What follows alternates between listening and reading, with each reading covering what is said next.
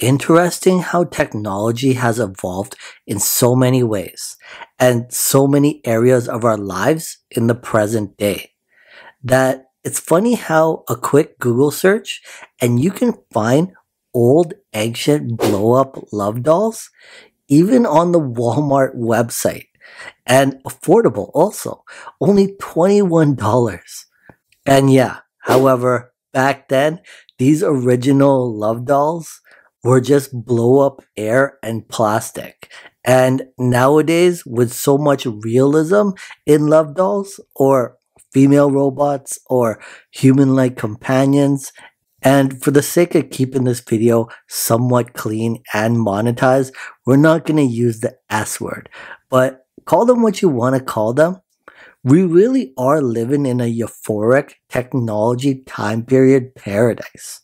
That is, if you want to call them your dream girls. All that's truly really missing is these giant robotic corporations with the know-how to make them fully autonomous stop holding back technology that will propel us into the future. Of course, when these human-like robots will walk among us, fully autonomous with artificial intelligent brains interesting how talking about Walmart and being able to find these blow up love dolls in their stores that many Walmarts and other grocery stores in the United States have actually turned to robots to help. And now we're going off topic from love dolls, but just focusing on robots in the workplace but that many Walmarts and other grocery stores in the United States have actually turned to robots to help restock shelves and help out around the stores. However, unfortunately, that probably means a lot of people are losing their jobs. But anyway, check this out. Living below the poverty line. The grocery industry is a low margin one, though, and Canada's food professor, Dr. Dr. Sylvain Charlebois, tells me this metro strike could speed up growing automation and robotics in your local grocery store. Take a listen. Instead of running a grocery store with 80 FTEs, full time employees, it could actually bring that number down to say 50 or 55 instead. And, and the way to do that is to use more automation, robotics, and AI. You're saying now that this could lead to more automation at the grocery store, Sylvain? I would say so, yeah. With fresh products, inventory can turn twice, three times a day. If you can actually get someone else or something else to do that instead of a human, uh, your costs become much more predictable. That robot Viz we're looking at right now, this is not a concept. These are actual robots that some U.S. stores are employing to restock their shelves, something that perhaps could be on the way here in Canada. Metro stock down just over half a percent in today's trading session. Erica. Looked like it was moving pretty slowly though there, for sure. All right. I know it's it's not a good thing. You know, I mean, we you know these are uh, you know these are important.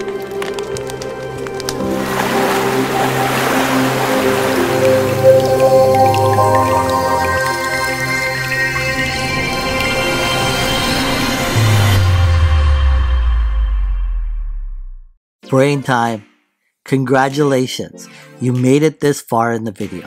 What would you do if I told you you could have 25 years of good luck? And all you'd have to do is like this video and also subscribe if you haven't already. Well, what are you waiting for? Smash that like button and you'll get 25 years of good luck. And now, back to the video.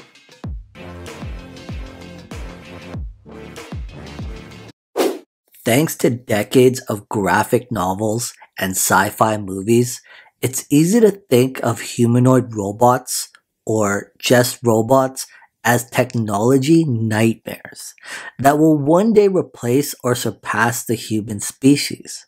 In fact, if you've watched one or more of my videos here on YouTube, then it's safe to say we know what to expect if we're talking about our future civilization when or if humanoid robots will walk among us. So how do we get to the year 2077? Fast forwarding past the year 2050, when for sure by then our humanoid robots and companions will have become so far advanced in artificial intelligence, they will walk among us. Well, the team behind robotics, machine learning, and AI at the Toyota Research Institute in California had this to say recently about robots and our future. The Toyota Research Institute isn't a department or sector within Toyota charged with getting robots on the market for sale, but rather a sector within Toyota figuring out the problems preventing that from happening. Of course, and it makes sense. And finally, a company who admits to a sector within a massive global giant corporation that is pushing the advancement of humanoid robots. But before we go ahead and start spreading rumors that Toyota has some sinister sector within the Toyota Motor Corporation pushing the advancement of humanoid robots, all of which is said, of course, with humor. Anyways, I find it very interesting because I found this video from the Toyota Research Institute that showcases soft touch features with their robots and the development of Toyota's TRI robots and their capabilities.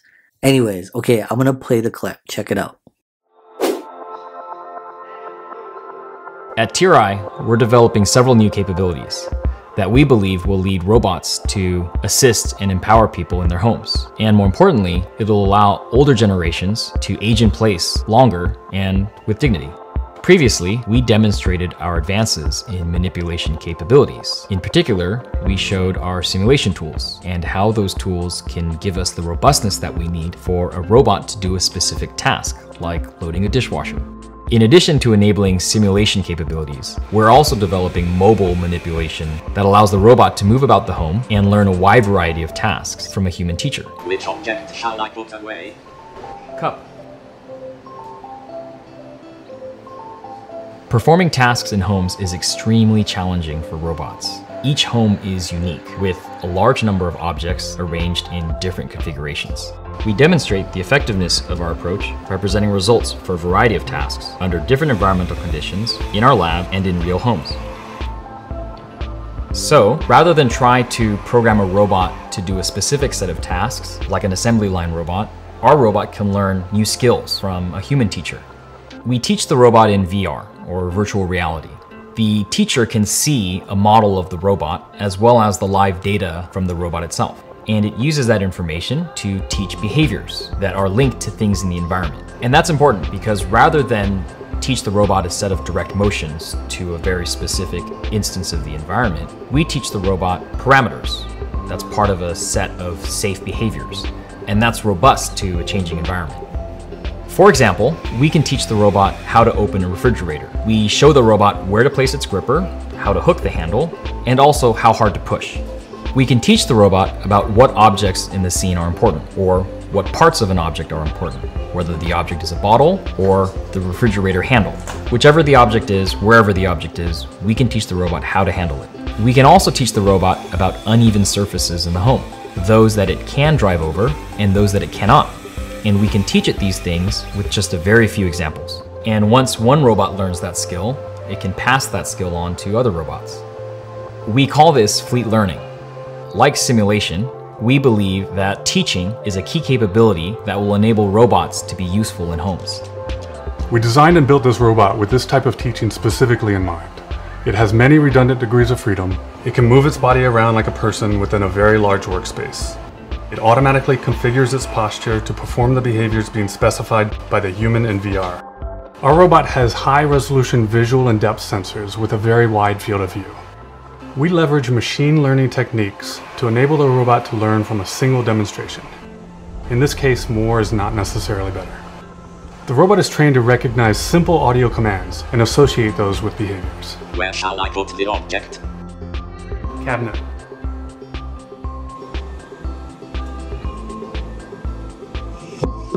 When the robot is taught a behavior, it associates that movement with what it sees in the scene before it. It then combines visual and depth data into a 3D representation of the environment. It then plans collision-free motion for its body and arms. If it detects something unexpected, it can stop, react, and recover, and then plan again. The robot can link actions to visual cues, which also applies to how it navigates the environment. The robot does not need to build a global map of the home, but rather it can navigate like a person. It chooses what action to take based on its visual memory of what it has learned. It's important to remember that our robots are research prototypes, not product concepts. We choose tasks for the robot that we believe motivate the right algorithm development. While the robot must currently be taught every behavior for a specific situation, we're working to generalize beyond individually taught tasks. Ultimately, as one robot learns a task in a home, all robots benefit collectively. Rather than focus on developing robots that replace human activity, we think it's better to focus on robots that amplify, empower, and assist human performance.